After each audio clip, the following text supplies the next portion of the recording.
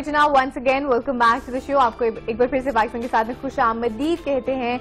जनाब, अभी हमारे साथ एक बड़ी बेहतरीन जो शख्सियत है वो मौजूद है और हम बिंग होस्ट उन्हें आइडलाइज भी करते हैं डेफिनेटली जनाब हम बात कर रहे हैं एहसन खान की और जो कि ना सिर्फ़ एक बेहतरीन होस्ट है ना सिर्फ़ एक बेहतरीन अदाकार है बल्कि he is a good producer as well और उनके बड़े मशहूर ड्रामे भी हैं exactly. जिन्होंने काम किया दास्तान है ड्रामा फिर उसके बाद उनका उडारी, उडारी है।, है फिर उसके बाद उन्होंने कयामत एक अभी जो रिसेंटली थोड़ी देर पहले चला है. बड़े बेहतरीन ड्रामा उन्होंने काम किया और अभी currently time out with Ehsan Khan जो शो है वो बेहतरीन तरीके से वो भी होस्ट कर रहे हैं. एग्जैक्टली एहसन खान के हवाले से अगर बात करें तो एनसीआरसी के खैर सगाली सफीर मुकर हो चुके हैं इनको बड़ी मुबारकबाद देते हैं। और जैसे हमने उडारी का ज़िक्र किया उसमें भी आपने देखा कि एक बच्ची को हरास किया जाता था किस हम्म, तरह से। तो बेसिकली ये बच्चों के हकूक के लिए ये एक जो प्रोजेक्ट है वो स्टार्ट हुआ था और इसमें उन्होंने उनको सफीर मुकर किया है। पहले तो हम एग्जैक्टली एग्जैक्टली और बहुत मुबारकबाद पेश करते हैं। Exactly exactly, ji national commission rights of a child है और अब हम उनसे बात करेंगे पहले तो मुबारकबाद देंगे और फिर उनसे पूछेंगे कि आ, कब उन्होंने ये मुहिम का आगाज़ किया था। अस्सलाम वालेकुम बहुत शुक्रिया एहसन आपके कीमती वक्त का। एहसन सवाल की तरफ़ बढ़ूँगी पहले। बच्चों के तहफ़ के लिए आगाही मुहिम कब से शुरू किया आपने? जी बहुत शुक्रिया आपका थैंक यू वेरी मच सबसे पहले तो ये कि मुहिम का आगाज़ आ, तो मैं नहीं कहूँगा मुहिम तो हमेशा चलती रहनी चाहिए। और हर माँ बाप हर इंसान का एक अखलाकी फ़र्ज़ है। चाहे वो मजहबी तौर पे आप ले लीजिए, इंसानियत के तौर पे ले लीजिए, बच्चों की हिफाजत, चूँकि हमारा फ्यूचर है तो बहुत ज़रूरी है।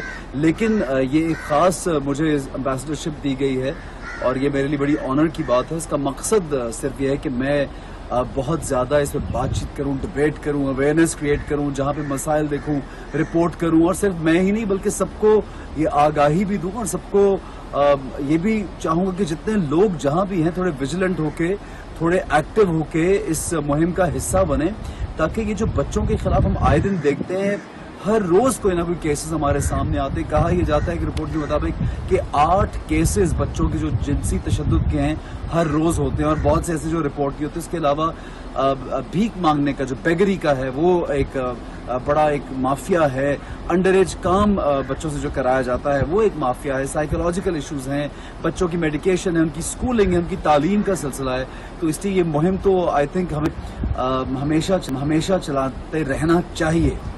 बिल्कुल ऐसी है आप बिल्कुल सही कह रहे हैं कि मुहिम जो है हमें हमेशा चलाते रहना चाहिए और जैसे आपने मेंशन किया कि हम सबकी रिस्पॉन्सिबिलिटी बनती है चाहे वो मीडिया से हमारा ताल्लुक है या किसी और इदारे से ताल्लुक रखते हैं चाहे वो गवर्नमेंट से ताल्लुक रखते हैं सबकी रिस्पॉन्सिबिलिटी बनती है। ऐसे बच्चों के हकूक के मुतालिक बहुत सारे कानून जो है वो पहले भी पास हो चुके हैं लेकिन उन पर अमल दरामद कितना हो रहा है इस वाले से भी थोड़ा सा बताइएगा। अच्छा ये देखिए हमारे हमारे, हम लोग बहुत से बिल पास होते हैं, बहुत से कानून बनते हैं और शायद वो मेरी आपकी तसल्ली के लिए बन जाते हैं, लेकिन उन पर इम्प्लीमेंटेशन नहीं होता। सिर्फ़ बच्चों के हकूक के कानून की बात नहीं कर रहा मैं जनरली भी बहुत सी चीज़ों की इसको इंक्लूड करूँगा यहाँ पे कि असल माशरे में सिर्फ़ और सिर्फ़ तब्दीली या बेहतरी तब आती है जब अदलो इंसाफ कायम हो। आ, मुझे यहाँ पे नेल्सन मंडेला की एक बात याद आती है। उन्होंने ये कोट किया कि अगर किसी किरदार देखना है किसी मुल्क का किसी कौम का किरदार देखना है उसका अक्स देखना है उसकी असलियत देखनी है तो आप ये देखिए कि बच्चों के साथ वो कैसा सलूक करते हैं। तो सबसे पहले तो हमें अपने आप से सवाल करना है कि हम अपने बच्चों, अपने फ्यूचर के साथ क्या सलूक करते हैं। दूसरा, जहाँ तक आपने कहा कि कानून बन जाते हैं, लेकिन अमल नहीं होता तो बिल्कुल मैं अग्री करूँगा और सब अग्री करेंगे कि कानून पर अमल करना, यानी अगर लॉ हो और जो लॉ पास हो चुका है, उस पर अमल करना बहुत ज़रूरी है। उसके लिए हमें ज़्यादा पुश करना चाहिए और करना पड़ेगा। आई थिंक ये मीडिया पे हम सब लोग मिलके ये काम बेहतर तरीके से अंजाम दे सकते हैं कि अगर अवेयरनेस क्रिएट करते रहें और बार बार इस बात की ताकीद की ताकीद भी करें।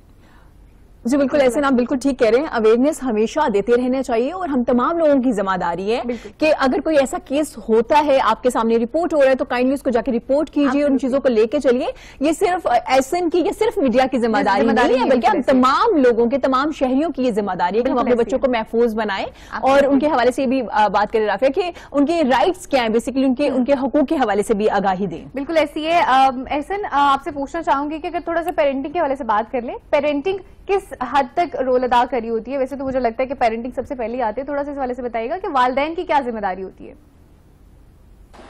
इस मुहिम में, में सबसे अहम जो किरदार है वो माँ बाप अदा कर सकते हैं। आपका बच्चा जो है वो आपके सामने होता है। उस पर तवज्जो दीजिए वो कहाँ जाता है उसके दोस्त कौन हैं किन रिश्तेदारों के पास बैठता है किस तरह से वो अपनी ज़िंदगी गुजार रहा है किसके साथ वो पढ़ रहा है कौन सी दुकान पे जाता है किस वक्त गायब होता है किस वक्त वापस आता है इन सारी चीज़ों पर माँ बाप को नज़र रखनी है। सिर्फ़ और सिर्फ़ जितने हमें केसेस नज़र आते हैं उनमें सबसे ज़्यादा वजह जो है वो घर से एक लापरवाही बरतना। कभी दुकान पर भेज देना दुकानदार का फ़ायदा उठा लेना कभी किस, सवारी पर रिक्शे पे या बस पे भेज देना वहाँ पे किसी ने फ़ायदा उठा लिया, कभी मोहल्ले के किसी लोगों ने फ़ायदा उठा लिया, आपके अपने कभी रिश्तेदार फ़ायदा उठा लेते हैं, बच्चों की मासूमियत से। बच्चे क्योंकि सॉफ्ट टारगेट होते हैं, उनको मालूम है कि इनको इजीली कुछ भी कर देंगे, ना ये चिल्लाएँगे, ना बोल सकते हैं, ताकत होती ना रिटेलिएट कर सकते हैं। और कोई पूछने वाला नहीं, उनको ऐसे महसूस होता कि ये बच्चा कभी बता नहीं सकेगा।